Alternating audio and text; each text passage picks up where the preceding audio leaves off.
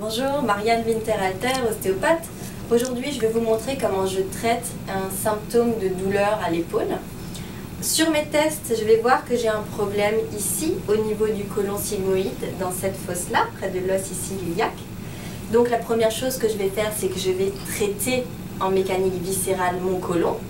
Puis, je vais traiter la colonne pour le côlon, donc c'est ce qui lui correspond.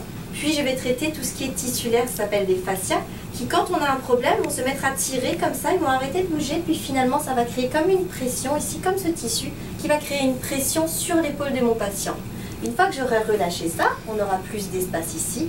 Je vais travailler directement sur l'articulation, en articulaire, la congruence de l'épaule. Donc je vais aller le chercher comme ceci, sur des mouvements, vraiment aller travailler l'épaule, aller travailler la colonne parce que bien sûr il y a tous les muscles qui s'y attachent.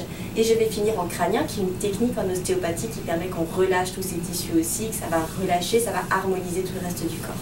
Bonne journée.